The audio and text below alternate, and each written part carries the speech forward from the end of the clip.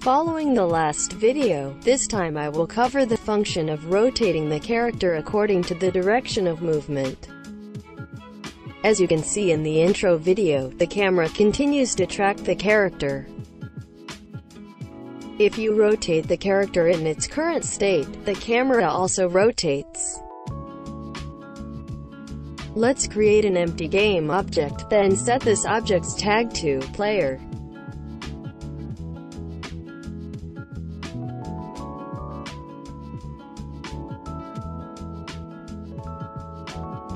And I will return the tag of the mesh character to untagged. Next I will set the mesh character as a child of the game object I just created. Before applying the character controller to the parent game object, I will copy the property values of the existing controller. Then remove this component add a character controller to the parent game object, and paste the copied attribute values. All setup is done. Now let's work on the script.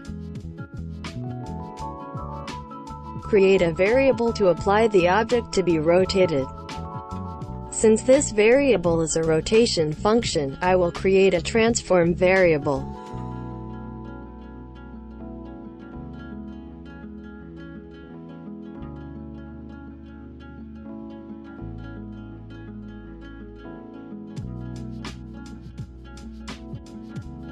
Since Mesh Player is registered as a child of TempPlayer, you can get it through the getChild command.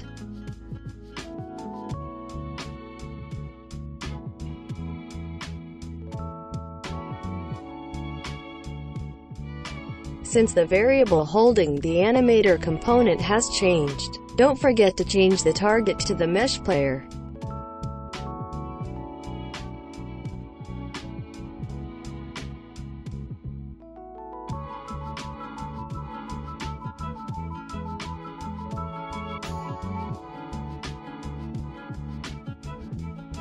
First, I will create the vector3 local variable, lookDIR, and reset the variable as follows.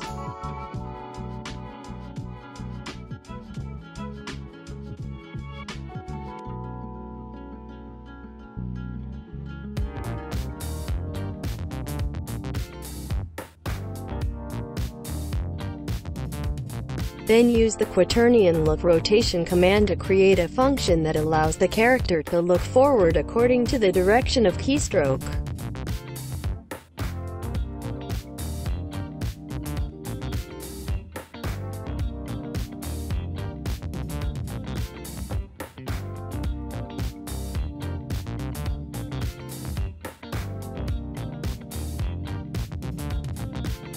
You will see that the character rotates according to the direction it moves.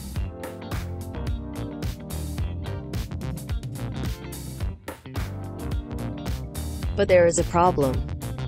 The character does not fall off the stairs and continues to float in the air. It is necessary to artificially create gravity.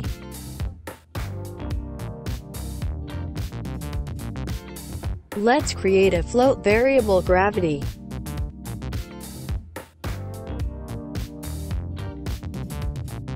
I will set gravity to 0.5.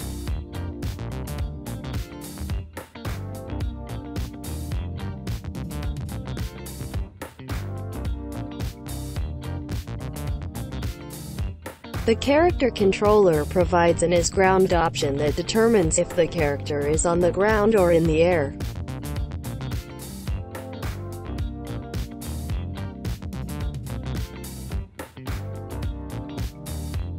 If the character is on the ground, the character will not be affected by gravity, otherwise the character will keep moving in the minus y direction.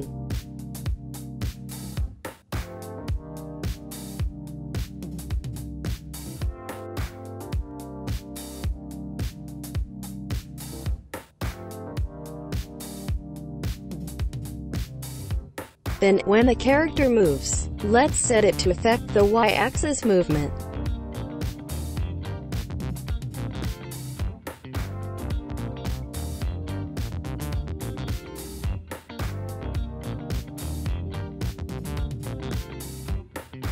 It may be different from the actual gravity but we have solved the problem of the character constantly floating in the air. Another problem occurred. When I stop pushing keys, the character always looks in the positive Z direction when it stops. The console continues to report this issue.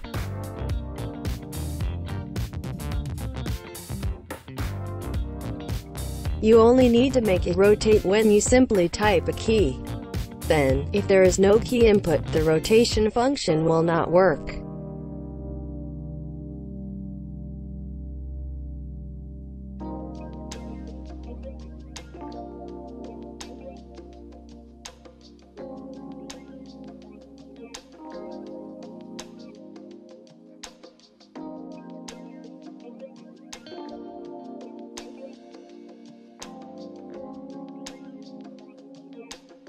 It has been confirmed that the character maintains the direction it was running when stopped.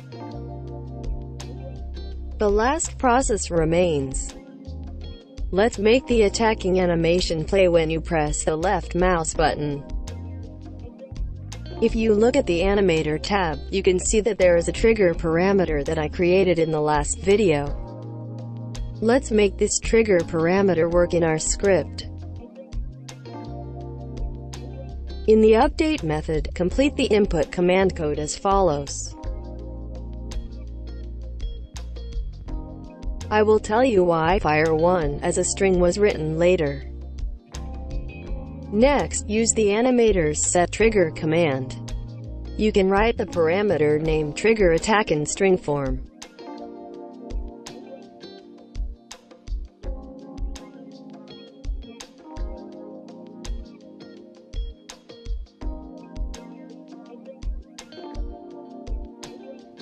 If I click the left mouse button, you can see the attack animation play. I can also attack while running. The reserved words in string form used in input can be checked in the Input Manager in Project Setting. You can see that Fire 1 is assigned to the left mouse button and the left control key on the keyboard.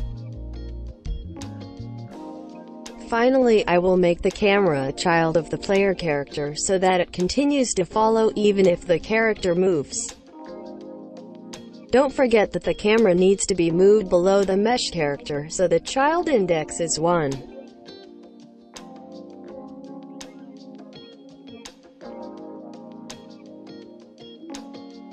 That's all for today's video. Thank you. See you next time.